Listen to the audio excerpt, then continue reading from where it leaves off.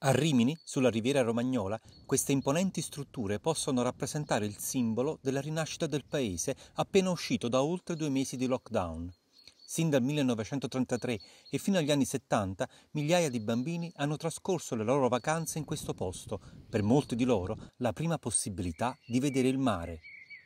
Un gruppo di sindaci della città metropolitana di Bologna sta portando avanti un progetto di restaurazione delle vecchie colonie di Rimini, contribuendo così al ritorno alla tanto agognata normalità in una delle regioni più colpite dall'epidemia.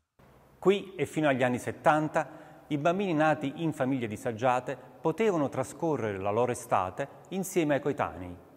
Oggi qualcuno prova a riportare in vita queste strutture, anche per dare un segno di rinascita a tutta la società italiana dopo il lockdown. Ridare nuova vita a queste strutture permetterà a tante famiglie di regalare ai propri figli una meritata vacanza al mare, ma nel pieno rispetto delle precauzioni imposte dall'attuale emergenza sanitaria. Quello che offre oggi questo luogo è paradossalmente quella socialità che eh, il distanziamento sociale oggi ci vieta, perché qua c'è molto spazio, sarebbe possibile anche fare tante cose che in altri contesti eh, sono vietati.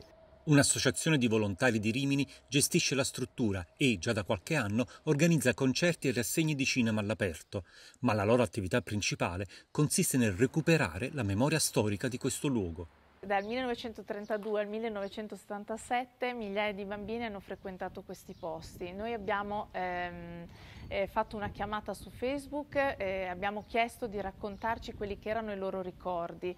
L'abbiamo fatto per ricostruire la memoria storica di questo luogo e per ricostruire anche quella che era la storia di, questi, eh, di queste relazioni, la storia dei ricordi di questi bambini.